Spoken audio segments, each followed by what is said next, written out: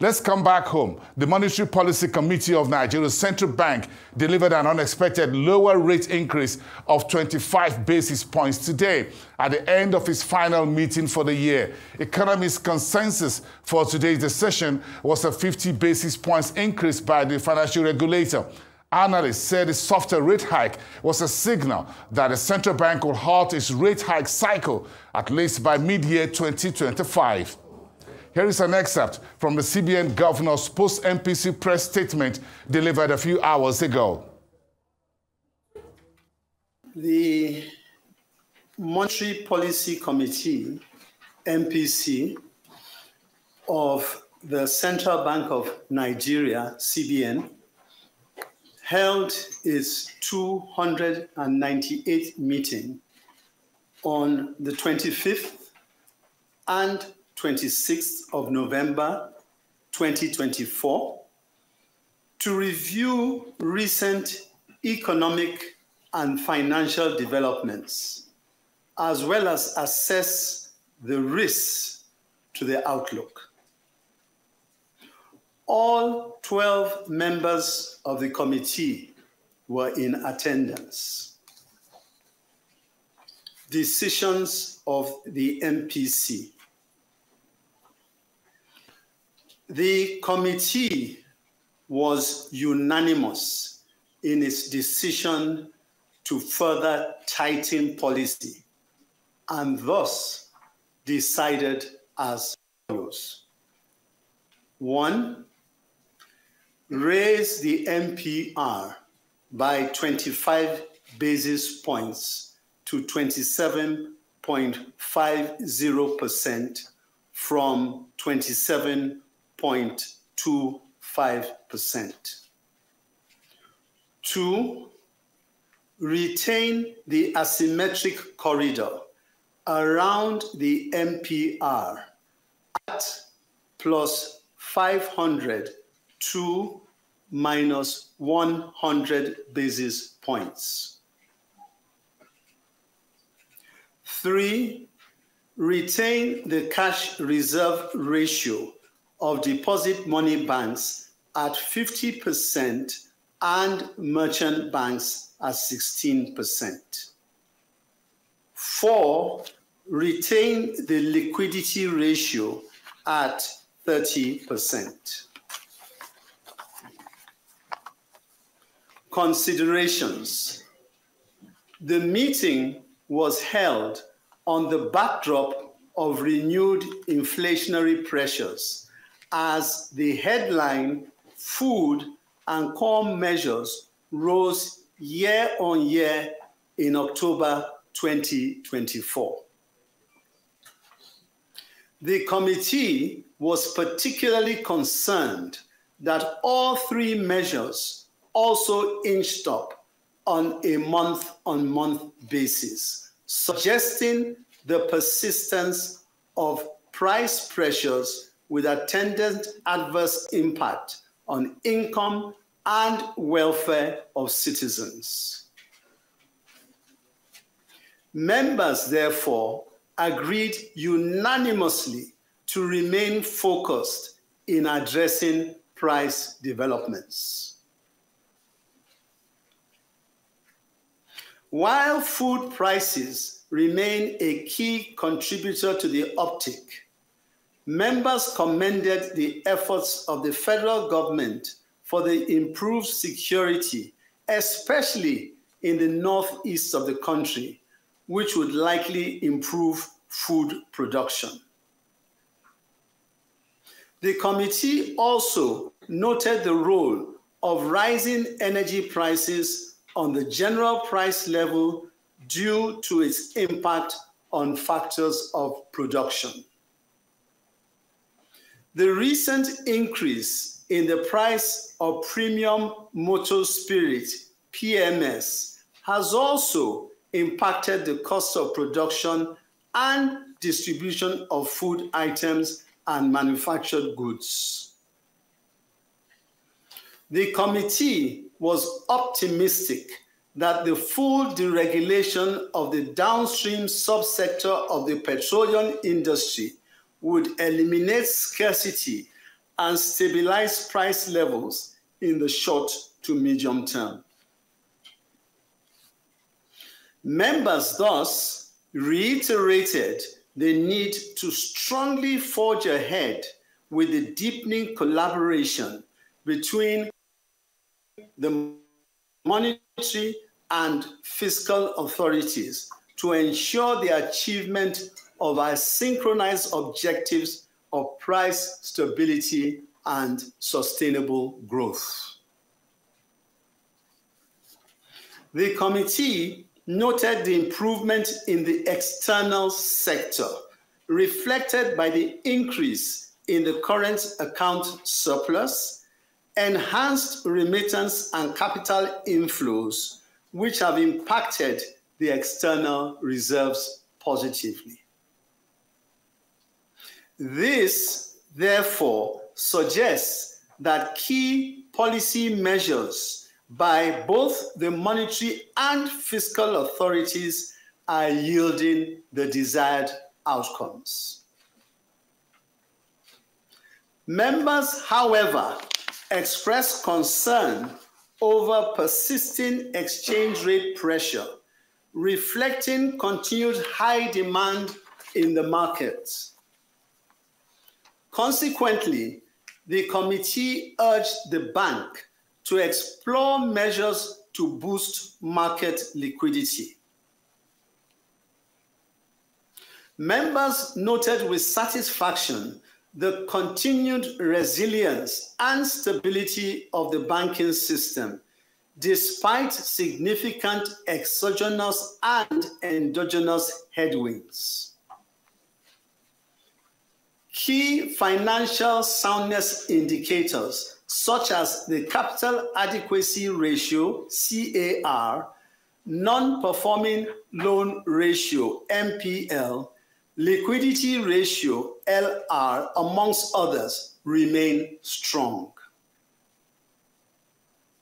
The MPC, however, called on the bank to maintain its close surveillance on the banking system to sustain compliance with regulatory threshold and continued health of the industry.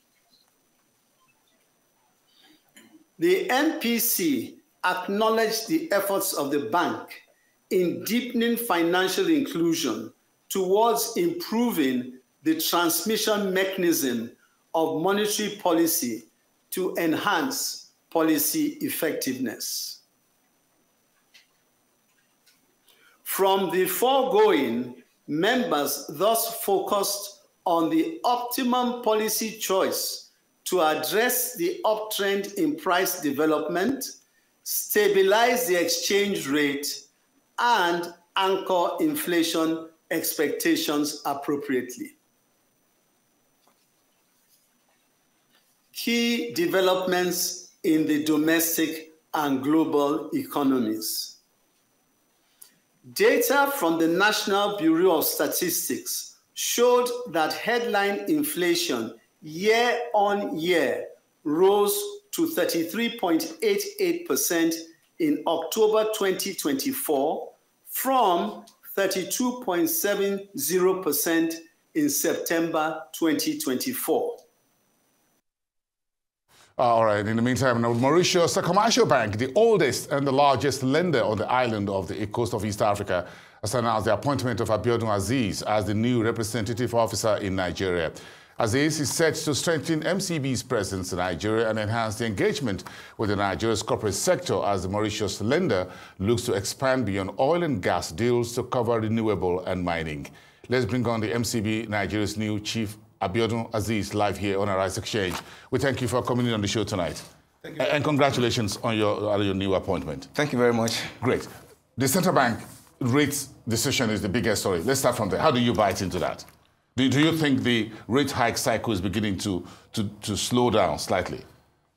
Yes, um, I mean, like it, uh, it's been shown, it's below, I mean, the, the hike is be, below the expected uh, rate with uh, 25 bips, I think uh, we're seeing, maybe in my view, we're going seeing going towards the end of this the rate hike uh, season.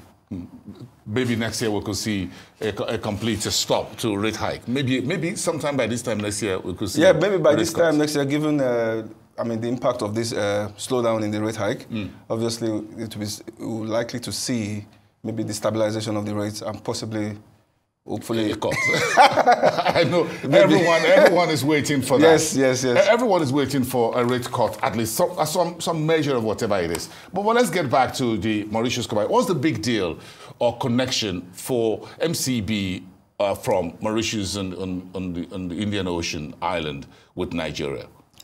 Well, MCB, um, I mean, you've rightly mentioned, is the largest lender already in Mauritius. I mean, largest bank in Mauritius, and um, our international business is quite strong. International business itself is about over maybe 60% of our, of our business, of our balance sheet. And Nigeria being the core market in Africa, and international for us is basically Africa. So we're an African bank. International is operating around Africa. Nigeria is a priority market for us, so that's a big deal. That's the reason why, why MCB decided to be a priority market. Biggest Nigeria is look uh, in terms of the size of the economy, mm. the opportunities in, in the market in Nigeria, MCB sees a, a Nigeria as a key priority for, for us to be in. We've actually been sort of uh, operating in Nigeria, but you know, uh, from Mauritius as a base. But given that um, the business is going stronger and we have higher, we have more intention to do more in Nigeria, mm. it is imperative for us to now come on ground to, firstly, to our partnership with uh, on ground to deepen that and also develop new ones. When we say a representative office, how does that work? The, the rep office is like a, it's like an antenna. A business development office is we look we we we're on ground. We support. Uh, we have the main the mothership is in, in, Mauritius in Port Louis where the head office is, but the rep office supports the, the different business segments in the, in the, in the head office to give them in intelligence of what is happening in Nigeria, opportunities, and even if there are inquiries about MCB in Nigeria, the rep office is closer to, to the clients, and the rep offices will be able to facilitate the engagement with the, with uh, the, the head office at the, in Mauritius. Are there key sectors that MCB is interested in in Nigeria yes, in terms of sector specifics? Yes, MCB has actually been uh, actively engaged in the oil and gas and the financial institution sector. Already in Nigeria, we, we engage with the, with the banks already and the oil and gas sector we are looking to develop focus on uh, what we call the global international corporates. This global international corporates includes multinationals, regional corporate companies um, with, um, uh, with some scale, with turnover, and uh, that can meet uh, certain criteria. So we, we, want to develop that. We also have expertise in, uh, like you mentioned, mining. So in, in terms of uh, project finance, power, infrastructure, renewables, uh, we are keen to look at those opportunities in that space in Nigeria. Oh, very interesting. Uh, but, but, the country is currently going through a swath of economic reforms. Um, uh, are, are, there concerns about how these reforms will, for, for example, exchange rate realignment, uh, in terms of a subsidy removal for fuel and a few other things that the government's doing. For example, the, uh, the Finance Act, which has to do with the reform in the tax regime, tax system for the country. Uh, are, some of these, some of what Mauritius, uh, the, the MCB Bank is looking at and say, here, are there opportunities here or are there challenges for us as an international bank, as a Pan-African bank in sub-Saharan Africa, looking to uh, get into the economic renaissance, as it were, of, of Africa's most populous economy? Um, we see, I mean, the reforms, we're following the reforms very closely. We see opportunities. Of course, we know there are challenges. I mean, in, in uh, of course, there are challenges all over Africa, especially in this uh, in the FX situation. So, with the reforms, we follow it closely. We see opportunities. We are, we see ourselves as an African bank, positioned uh, reliable to African customers. We see the opportunities in that as the foreign banks exit, we see opportunity for a bank like MCB to come into the market and fill in, that, fill in that gap. So we, we don't shy away uh, from uh, uh, challenges in Nigeria, but we, we have a strong structuring capabilities um, to be able to ma manage the risk that we see in, in transactions. Maybe I should just mention MCB is a is a, is a, is a, is a dollar bank. I mean, in terms of our balance sheet, we are very strong, long, long in dollar liquidity, and we're also very strong in, um, in tenors. So these are opportunities where we may be able to plug in the, in the Nigerian market as the reforms go along because we know Nigeria is focused on foreign direct investment, etc., mm. uh, also to into the economy. Um, Mauritius itself is an international financial center, so MCB can channel investments from Mauritius mm. into Nigeria and from also other trade hubs because we have a presence in Dubai, we have in South Africa, we have in Paris, we have. Uh, so in those we can channel investments through uh, into Nigeria mm. uh, itself, and also we have capabilities in what we call um, structure, corporate structuring. So in terms of uh, entities that want to structure in a way that will be tax efficient uh, and more uh, improve governance, Mauritius being an international financial center is also poised to do that. So the reforms is an opportunity for us to help facilitate flows into, mm. into the country. In terms of financial, in terms of financial syndication, for example, I'm sure MCB was one of the banks that Afrexim Bank uh, had relationship with uh, in, in, Mauritius when it comes to uh, some of the uh, debt instruments that Afrexim Bank also yeah. Uh, float. So, as a global financial uh, services player, tell me more about the MCB as a Pan-African lender when it comes to trade, because intra-Africa trade is, is, is the aim thing right now, and everyone is is, is uh, logging into that uh, as, as, as, the next wave of opportunities, especially for, and you banks are, are at the center of it all as the ones to facilitate payments uh, yes. and, and transactions between businesses within the continent, East Coast, North Coast, Central Africa, East Africa, and, and beyond. So um, MCB is, uh, as you're aware, the, very, an investment grade rated organization. So it is, we are uh, a sort of advantage in facilitating trade. Mm. In, we, we can easily support uh, even the banks uh, in supporting them with uh, lines to facilitate import, letters of credit. And also, on the corporate side, yeah. given our rating, our instruments are very well, highly rated. So in terms of facilitating trade for the importation of raw materials mm. for uh, the corporates or importation of inputs into the manufacturing process. MCB is poised to do that. And on the export leg as well, we also ability, we are able to support export the export business. We have our bespoke solutions uh, to, for, for, for that kind of business. So in terms of trade, both import and export, MCB has, I mean, first the, the capability, the capacity to, to support that in, in, within Africa. Like I said earlier, for us, international is mostly Africa. So we, we try and make sure all our business has a leg in Africa. Nigeria is, is the biggest in, in, the, in the West Africa region. So are you looking to see beyond Nigeria? For yes, West Africa. Exactly. West Nigeria Africa. is the priority market in the, in the Anglophone uh, West Africa. Yes. But Ghana is secondary for us. Mm. So as it were, we'll focus on Nigeria is priority with secondary focus on Ghana. Mm. You know, Mauritius is also a bilingual uh, country, if you're aware. I mean, most people or most uh, Mauritians speak French and English very frequently. So, so you're heading, so you're heading to Cote d'Ivoire. that's what I wanted to say. So we are also able to support the Francophone Africa very robustly also. Mm, mm, yeah. Mm.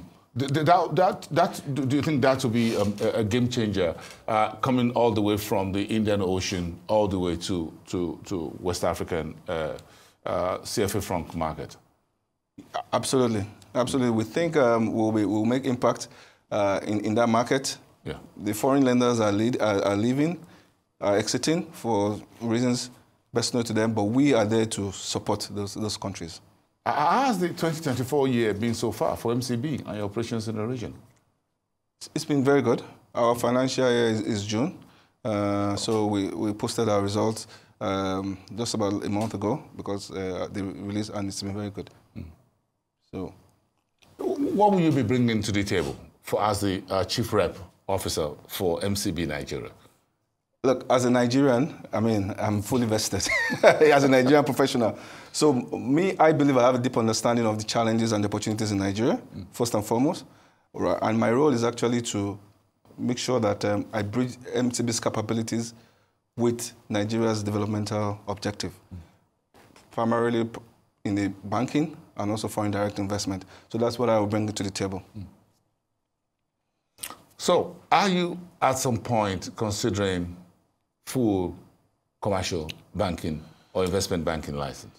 Uh, we just gotten our, uh, like you said, we're just on ground now. We'll mm. keep this license as it, as it is now and we'll see how it goes it's, it's going it's, forward. It's exactly. It's a rep, it's a rep office license. Yes, exactly. But, but, you, you can do more. Yeah, we can do basically. Um, we are, our um, intervention or our activities in the market, we, we, we, we, we adopt a collaborative approach. Mm. We complement the local banks, right? Great. Like I said, we mm. are stronger in foreign currency, dollars and euros. We don't want to crowd out the local banks in the local currency. We, we don't, so we believe we can complement them.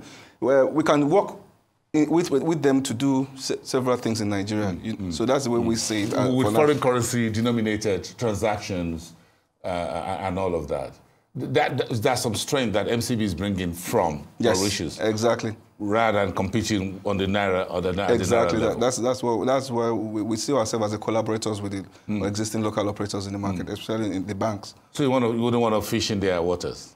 We are collaborators. Definitely. Congratulations. Thank you so much. Congratulations. Thank uh, you for your time. Uh, Abiodun Azeez, uh, the Chief uh, Representative Officer. Thank you very much. Have a pleasant evening.